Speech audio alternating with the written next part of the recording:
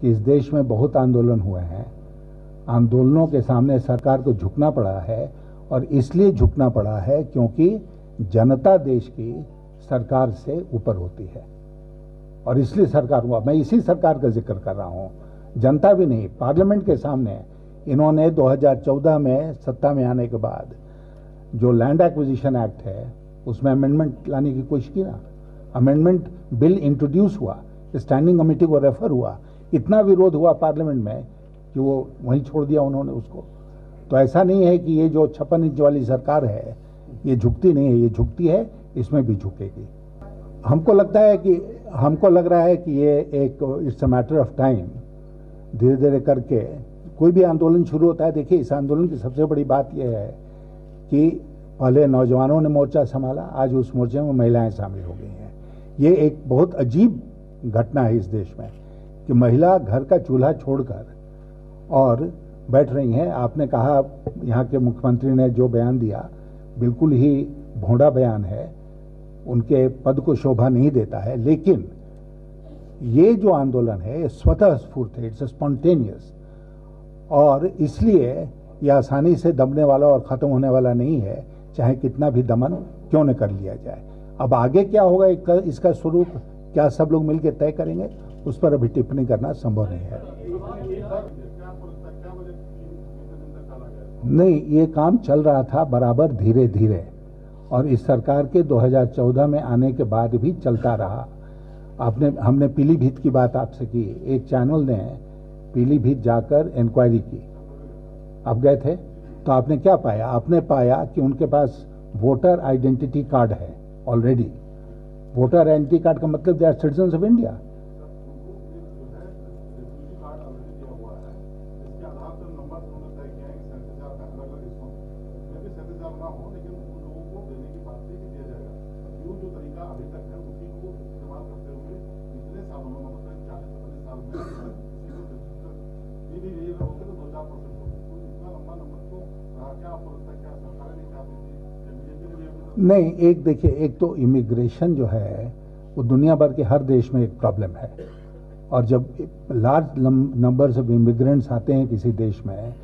तो जो स्थानीय लोग होते हैं, वो कहीं ना कहीं सफ़र करते हैं।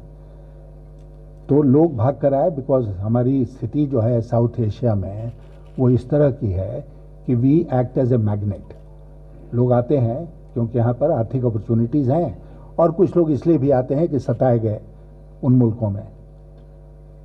ये बात मैंने आपसे नहीं कही कि दूसरे मुल्कों में भी सताए गए। There are 54 countries in the organisation of Islamic countries O में। और वो बहुत ज़्यादा दूर नहीं है, मलेशिया बगल में है, ईरान बगल में है, सऊदी अरेबिया बगल में है। तो हमने किस आधार पर लिया? बांग्लादेश और पाकिस्तान की बात समझ में आती है कि whether we were one country at one time Afghanistan तो कभी भारत का अंग नहीं था। अफ़गानिस्तान को इंक्लूड कर लिया। दोनों देशों, बांग्लादेश और अफ़गानिस्तान के साथ हम लोग के बहुत मधुर संबंध हैं। उसको गड़बड़ा दिया। दुनिया भर में भारत की एक छवि थी। As a poor country as a developing country जिसने कि अपने देश में प्रजातंत्र को बनाकर रखा हुआ था, सारे कठिनाइयों के बावजूद उस छवि को बड़ा धक्का लगा है। और अभी यूरोपियन पार्लियामेंट में जो रेजोल्यूशन आ रहा है, उनसे पूछिए, मैं उसके खिलाफ हूँ कि यूरोपियन पार्लियामेंट में कोई इस तरह का भारत के बारे में प्रस्ताव पारित हो। लेकिन उन लोगों से पूछिए जो उनके एक डेलीगेशन को लेकर कश्मीर गए थे, ये दिखाने के लिए कि सब कुछ कितना बढ़िया है। और सरकार के बैठे विदेश मंत्री उनको रात का भोजन दिलाते हैं, एनएसएस आप दिन का भोजन कराते हैं, प्रधानमंत्री जी मिलते हैं। अब वो यूरोपियन पार्लियामेंट की बात करें, पूरे विश्व में भारत की छवि जो है, धूमिल हुई है as a result of this silly step आप सबसे अनुरोध है कि वॉइस एटी फाइव इंडिया को सब्सक्राइब करें वीडियोस को लाइक करें शेयर करें और कमेंट के ज़रिए अपनी राय दें। साथ ही में बेल आइकन को दबाना ना भूलें ताकि हमारे नए वीडियोस की जानकारी आप तक सीधे पहुँचती रहे।